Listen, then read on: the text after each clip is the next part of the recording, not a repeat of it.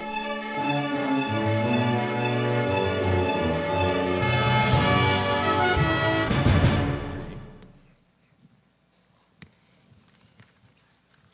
might not need your Bible, it's very familiar.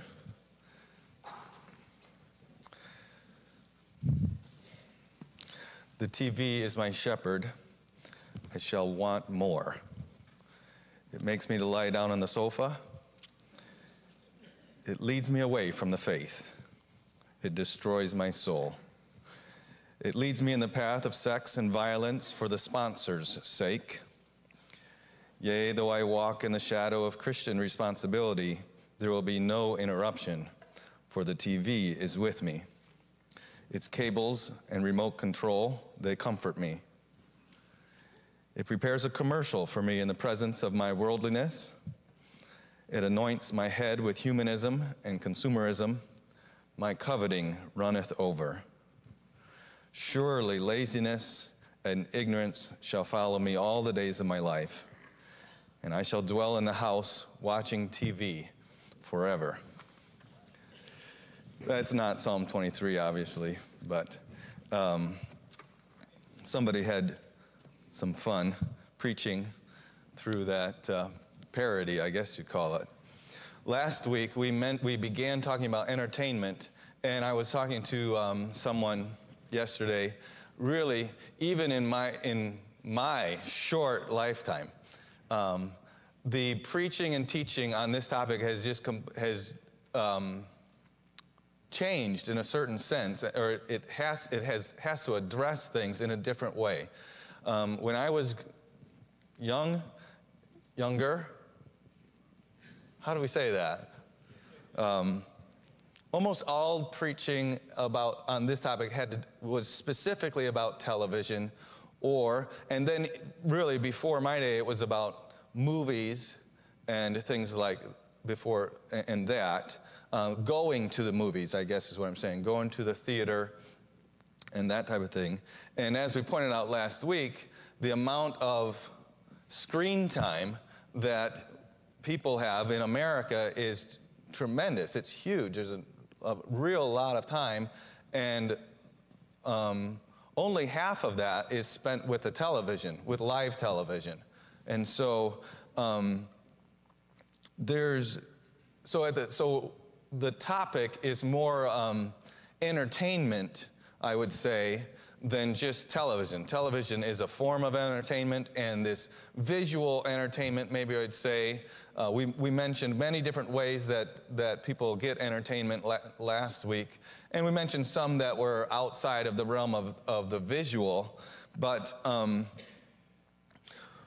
it is, it's, last week with the statistics I had, it's just it, the idea of screen time. And I, I will admit, some of us spend screen time with just words on a screen. Um, we're typing or we're reading an article or something like that. Um, so some of our screen time, or we're working with a spreadsheet or something like that. Um, but I would say most of us would agree that in general, Americans' screen time is not working. Um, I have an iPod Touch. I'm an old fogey. And I but I also have an iPad, and those things, I like to use them as tools, um, but you all know as well as I do that they were not made to be tools. They were made to consume information, and most of that information being in a visual, uh, a visual way with pictures and graphics and that type of thing. I can you know, I can send articles and I can send chapters of commentaries and all that type of thing to it and I can read on it, but that's not what it was designed for with that color screen and all of that. Um, so, entertainment and visual, visual entertainment is a huge thing in our lives today. More huge, more, it's greater than it has been, I would say, at any time in, in, um, in human history. And in the context of what we're studying this summer, the idea of standards and separation from the world, we should, because it's such a big part of our lives, um, we need to have a biblical understanding. We need to think about this in a scriptural way. So, and I think I might have said this last week, but I think I would, we could, we could say, I think you would agree with me if you thought just a little bit about it, that there's nothing in the Bible specifically about this type of entertainment. There's nothing in there in, in here specifically about this. Um, there's no scripture that says anything about televisions or or anything like that. Obviously, they weren't. They hadn't been invented in the t- in the time that the Bible was written. I say that it occurs to me that there's a couple times when people put on a show of some sort, and there might be some good shows that were given, but I think of one um, uh, Herodias' daughter that put on a show for people that really turned out pretty bad, and it was from the from the what is said. It obviously was very sensual um, show, but there's doesn't there's that still is just gathering a principle from a historical event. So the Bible doesn't specifically say don't watch television or don't own an iPad or don't own a Samsung Galaxy or Note or whatever the whatever the latest. The Bible couldn't keep up with it because it's like every year there's a new one. And so you'd be okay. I mean, if it said, the Bible said don't own an iPad, you would be allowed to own an iPad Air or an iPad Mini or an iPad Pro, but just not an iPad. That's the way we would think, right? So in this, in this um, category of thought, we really have to be governed by principles. And so we're going to talk about some of those. And um, I want to again mention a few things of the, about the characteristics of what we're talking about. And it's, it's I think I'm being, I'm afraid that I'm being a little vague uh, because it's more than just television. But if you are if you think with me you'll understand if i say tv i also mean youtube vimeo um, dvr um, you know, whatever, whatever, it's that visual um, entertainment type of medium. It might not be, um, we might not think that we're watching it for entertainment purposes, but it is entertaining. Case in fact would be um, even the news. Okay, we would say, well, I'm just watching the news. I'm just going to sit down and watch the news. Well, the news, if you're watching the news, that people that uh, produce that know that it has to be entertaining.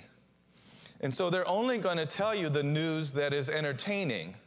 They're not going to tell you the news that's important because if they don't if they don't tell you the news that's entertaining, you might switch to another channel and then they won't be able to charge as much for the commercials that that have to come at a certain point in time.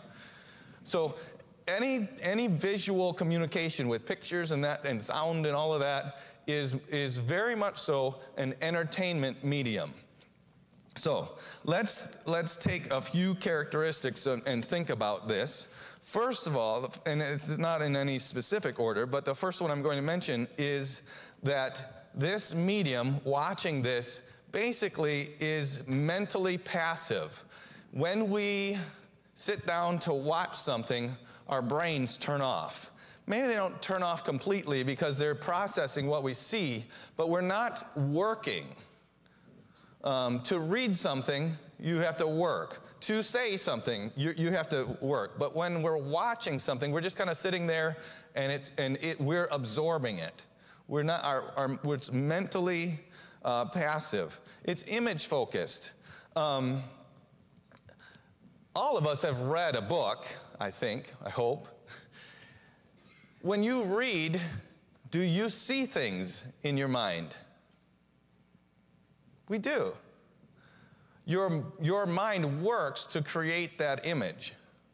When you watch something, you don't see anything else than what somebody else has already determined is the visual representation of what they're trying to show. So that this, this is so it's, it's much less brain intensive. If all you do is watch, if, if everything that you learn, you learn by watching, and everything that you know, you, you know, everything, all the news you receive, you, you receive it by watching. All the, if all the preaching that you received, you just watched something. And if, if um, you know, I'm not saying these things are evil, but there's, there's the Bible app that tells stories with pictures and music and all of that, um, or the Bible for kids. It's, it's really neat. I don't see any problem with it necessarily, but I don't want my kids that to be the only way they learn anything. Okay, so, but the point is, if we just learn through, vi- through visual rep- representations and all of that, our mind, we're not using our mind. We're not stewarding our mind. God has given us a brain and a mind, and He expects us to use it. Um, so it's we're to love the Lord with our mind, but this type of absorbing and, and consuming things uh, is very, uh, uses very little of our mind. Actually, along with it being passive, someone else is doing your thinking for you um, most of the time. We can, if we are extra uh, alert, we could watch something and criticize it. But, the, but most of the time, we just absorb it.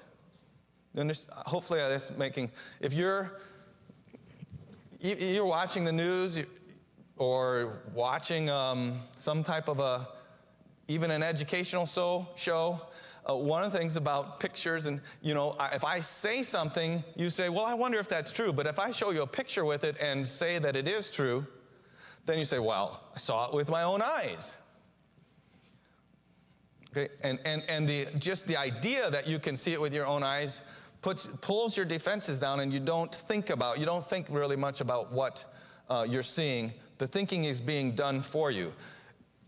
I'm not going to go all into this too far, but there's plenty of ways that you can represent something that's not actually true. You can represent things to people's eyes. I mean, there's, there's, a, there's stories, when they first came out, there's stories about news reporters in the Civil War that rearranged bodies on a battlefield so that they could so that the picture that they put with their story supported what they were saying. Okay, and that's long, that's 150 years ago.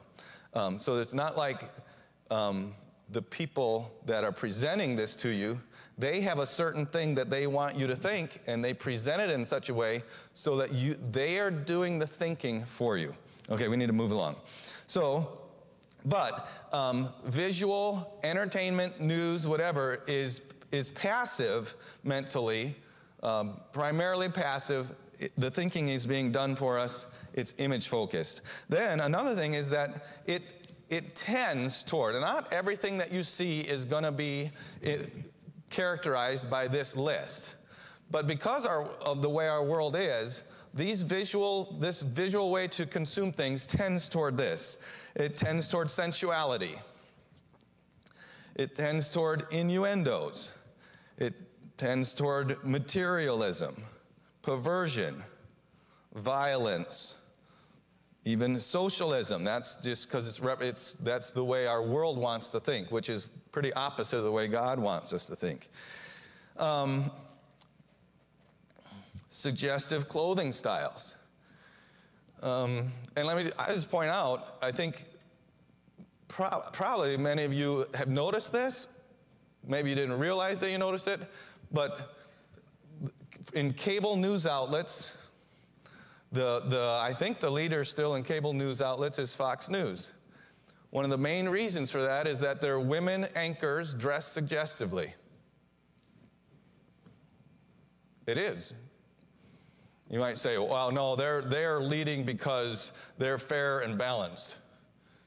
Well, that's, a, that's just a, that's, a, that's a marketing scheme also, okay?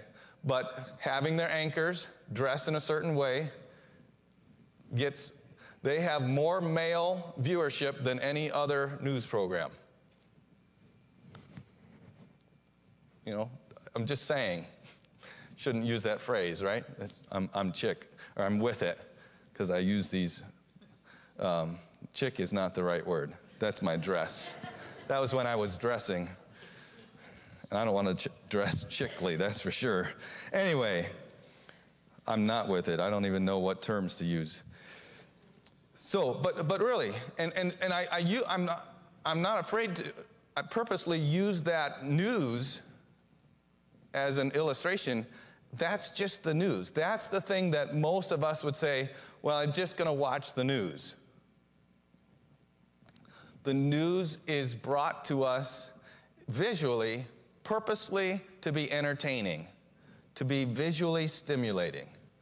Um, other things there, cursing and profanity. You probably won't hear that much, much of that on the news, but you listen to enough cursing and profanity, you're going to start thinking cursing and profanity.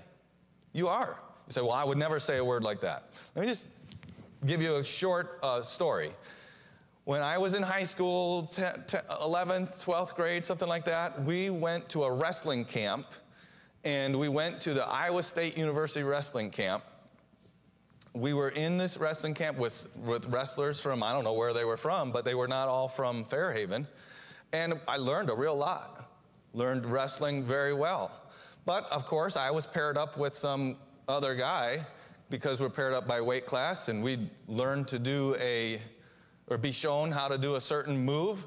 And it's just, a, it's not a whole match. You just do this move. It takes about 10 seconds. You start, you do it, and then you do it again then the other guy does, you do five or six reps of it each.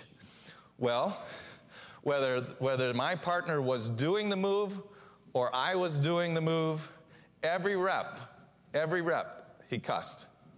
It's like, oh, blank, oh, blank, or oh, that was good, blank. You know, I, I messed it up, blank. Everything.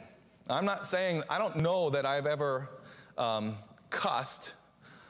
I, have said those words because, and oh, I've said those words. I mean, if you're in a conversation with somebody and say, so and so said this, that's different than cussing. Okay, it's not just a loose. Anyway, we, that would be another topic for our uh, summer. But, um, but I haven't just let one go, but I've thought them. After one week of just hearing it all the time, just like you, you, you, I don't know, I don't remember a specific instance, but you, you kick something with your foot in the middle of the night, and all of a sudden, what word comes to mind? The ones that you hear.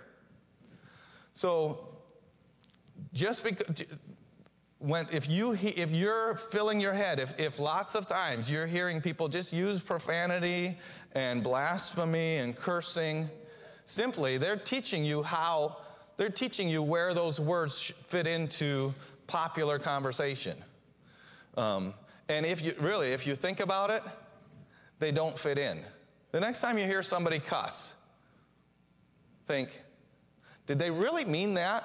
I mean, just, I mean, those words do have dictionary meanings. They're not just profanities. Somebody says blank, you think, did you really want to talk about that right now? Uh, I mean, whatever. The, no. So, um, but but the the entertainment teaches us how, we should, how to use those words. Um, humanism, crime. Some people say, well, I, you know, the news, I don't like the news, but I, my thing is sports. Well, what is sports filled with? I, li- I enjoy sports, but if you're going to watch sports, you're going to watch the post game show and you're going to watch all of this. You're going to listen to the announcers talk about it's while there is a struggle taking place there, and there is definitely tremendous talent and ability there, there's an awful lot of man worship going on there. You know, this team can't live without so and so, or this guy, he's so, he's so great. There's also the weirdest statistics you've ever heard of there because they have to find, you know, I heard a statistic this morning. This was a political statistic. Uh, somebody's favorability ratings with this, this particular group of people. Was like college graduates that are women that are something else. It's like so, so, I mean, and, and if so and so doesn't do better with that group of people, this is really telling that they're going to do bad in the election or something. I was like, wow, you know, I thought we had an electoral college. uh, anyway, so, but this type, this medium because it, it, it works best if it's entertaining, and because mankind is fallen, fallen mankind loves fallen entertainment. And so it tends toward that. It's going to get us. Our flesh likes certain things. Just because we're saved doesn't mean that we don't have flesh. Okay? So it likes certain things. Uh, the world that's not saved, they love fleshly, worldly, th- worldly things. And so that type of stuff is built into this type of medium because it has to, it's in a, it's in a competitive world, and in order to get us to watch it, it has to appeal to something, and it knows that that is what's going to appeal. Um, so, and, all, and, and that just, that's, I've already said it, but th- so this type of presentation tends toward being worldly. Um, another characteristic of it is that it's time intensive. It's time intensive. It just takes a lot of time. Normally, it takes up more time than what we thought it would. I think the way I've been talking about it is you understand that, I, that there's nothing in the Bible, and I don't think there's even principles in the Bible that would tell us you should never, you know, it's a sin to watch something. I, I mean, the, phys, the physical device. I'm sure there's thing, there, there are things that you can end up watching that's a sin to do, but whether it's, you know, a TV or something, it's not a sin to own or watch a TV. All of you have probably done that though. I'm going to watch the news, or I have, I, I like Wheel of Fortune, or whatever. There's, everybody has their I'm just going to watch this game. I'm only going to watch, you know, baseball tonight, whatever it is. How many of you normally, or, or how often, have we ended up watching the next show and the next show? Okay? So that shows. Somebody sends you a YouTube video, right? It might be something, it might be something worth watching, or it might be just something funny. And there's nothing wrong with watching something funny. I'm, I don't let me say that, give you that impression. But you watch something funny, and then there's that big list on the side there, right? Okay, and, and depending on how your browser is set up, if you don't stop it within about 10 seconds, something else is just coming, whether you ask for it or not. The next thing up, and, and then, and pretty soon it's like an hour and a half, and you're like, oh, dinner's not ready, or whatever, depending on what your ne- next responsibilities are. It's, it's, it's um, addictive. It is. It, it catches you. I, th- there are probably some people that can't live without watching something. So, but, but even not, not so much as, you know, shaking until you watch the TV. If you, if you just sit down and watch something, it catches you, and in, in a certain sense, it keeps you for a while. Um, it can, it has that ability. Um, I understand that this is more of a man, a man, a male trait than a lady's trait, but you know, you just you get the remote control and you just you just flip. There's nothing there. You go all the way through all 300 stations, and there's nothing on one of them. You're like, oh, I don't want to watch that. But what do you do? Well, it's been so long since you started. You, you, you, you, you, watch, you go through it again. Hopefully, maybe something will interest you this time. And you just keep going and just keep going.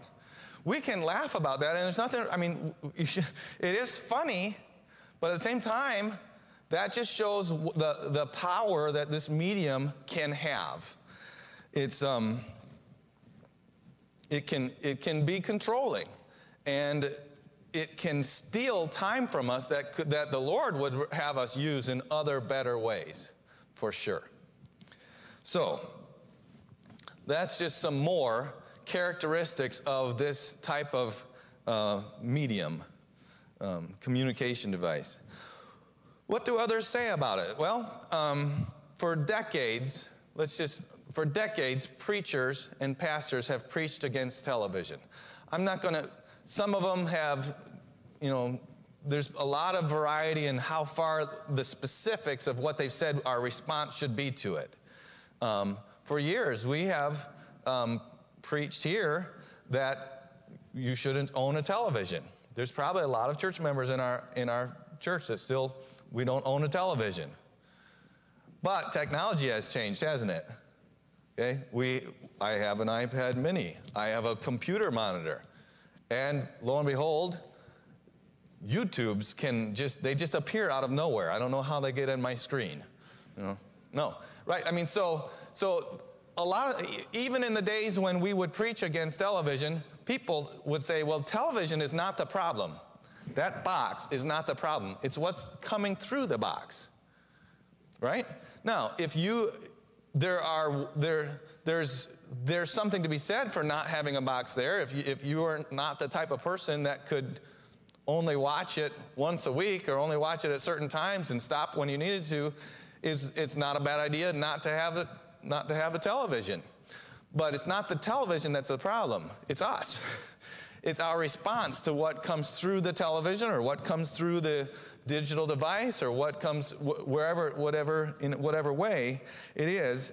And all I'm saying is that godly people for decades have preached against or warned Christians about this medium. And really, that's, that's all I'm doing this morning also.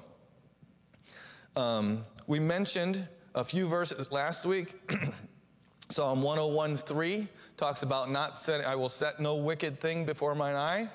Um, we mentioned Psalm 1, 1 and 2 last week. Blessed is the man that walketh not in the counsel of the ungodly. If you're watching something, most likely it's ungodly people that are telling you stuff. And they are thinking for you, and you are just absorbing their thinking. Um, Proverbs 4, 14 through 17. We didn't mention this one last week. Let me just read it quickly. You can write it down if you can get there as fast as me. Proverbs 4 14 through 17. Enter not into the path of the wicked, and go not in the way of evil men. Avoid it, pass not by it, turn from it, and pass away. For they sleep not, except they have done mischief, and their sleep is taken away unless they cause some to fall. For they eat the bread of wickedness and drink the wine of violence. 1 John 2, 15 through 17. Love not the world, neither the things that are in the world. If any man love the world, the love of the Father is not in him. For all that is in the world, the lust of the flesh, the lust of the eyes, and the pride of life, is not of the Father, but is of the world. Um, I think I just misquoted that a little. But the, the world, and the world controls most of what we consume in a visual way. And it's going to want us to love it. I'm not, I'm not saying that if you watch something, you know, that's evidence that you love the world. But if you consume it enough and you agree with it enough, you're, you're, the way you think is going to be worldly because, and you're going to love the things of the world. So I've already said this, but I would say it is not a sin to watch something, to watch TV, to watch something with a screen, etc. We can't, we can't come to that conclusion by looking at Scripture or even the principles of Scripture. But I would say that understanding the, understanding the medium demands that we, we have some standards or we, we set up some guards against um, consuming too much of it or consuming the wrong stuff that is there because it is very, very powerful. Um, I mentioned some people do not have a television in their home. That does cut down on the availability of, of visual entertainment. Um, with smartphones and all that, I'm sure it has, it has risen. But that could be something that you, I'm just going to mention different types of standards. I don't know that there's any one in part. I am not saying that all of these are what somebody should have. You, in this area, I'm going to be a little flip floppy or flimsy. You have to honestly think about your life, the situations you're in, and determine some standards that you're not going to do. Now, that, that you're going to follow. Um, now, if you set those standards and you're the only one that knows what those standards are, it's very easy to change them. if, you, if you say, I shouldn't do this, then you need to talk to some people about that. I'm going to keep this standard. Technology, te- technology will change, and this is a standard that will have to change because technology changes. Um, so, but some people, you might say, I only watch certain, or I would only watch certain channels when I'm alone. When I'm alone, I only watch certain channels. Or I only watch at certain times when I'm alone. Or I don't watch when I'm alone. Um, would only watch videos for special occasions. Okay? There's videos, are, I mean, they're nice.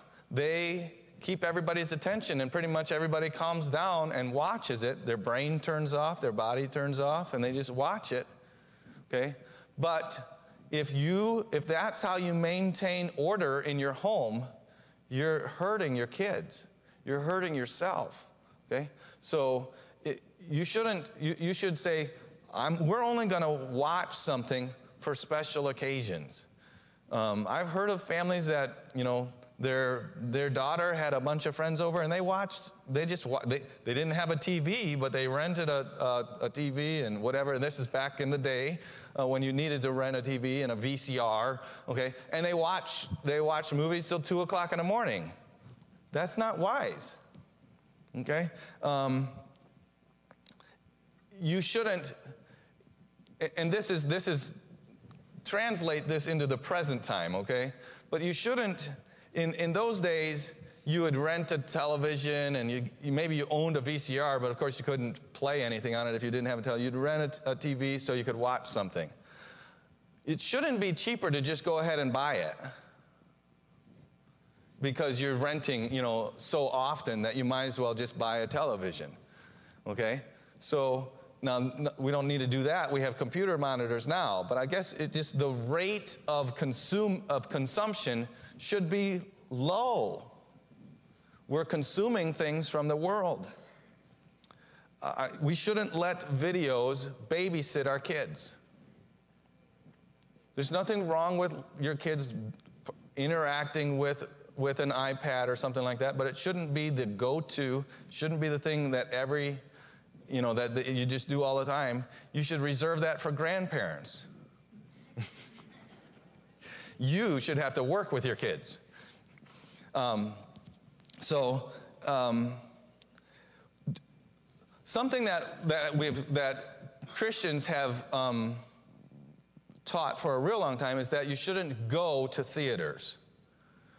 Um, the idea there, when you go to a theater, you, are, you know that your money is supporting this huge, whatever you want to call it, system that is very much against God and against Christian principles. So you're going there and you're supporting that. Another, another thing is that you people see you going there. Now, that you say, well, that's kind of hypocritical. You won't be seen watching it, but you will watch it at home. It, you might call it hypocritical, but at the same time, when you go there, you're, you're, you don't, people don't know whether you're, what you're watching of the uh, 16 things that the theater is showing. Um, so that is, that is a standard that people have held for a long time, that you shouldn't go to a theater. At the same time, if you're at um, you know, the museum and you're, and, you wanna, and you're watching something at the Omnimax, people would say, well, that's a theater. That's kind of educational and it's not, you are learning something. You can only learn a certain amount in a visual way. I agree. I need to stop. But anyway, um, for time's sake, I'd like to finish this though. Broadway shows. You know, people, you know, what is Broadway show gonna, gonna going to uh, try to get you to see, think about? A secular thinker has said the only thing that you should watch is things that you expect to be, you should only watch for entertainment. Because if you're watching something for news or information, really you're only being entertained. Now, that's just a secular, secular person. But I would say it's not a bad idea. I'm not, I'm not giving any um, things that you must do. but we need to think about this because it is so it permeates our culture so much. Let's pray. Our Father, we thank you for your word. We pray that we would have discernment. That's really what we need. We need to be able to, to understand your word. We need to grow in our knowledge and understanding of your word. We need your wisdom. And um, we pray that we would be more Christ like and that we would under, be, able, be able to have a strong Christian testimony, um, have a strong uh, relationship with you, and not allow these entertaining things to, um, to draw us away from you or to even pull us into uh, sin. In Jesus' name we pray. Amen.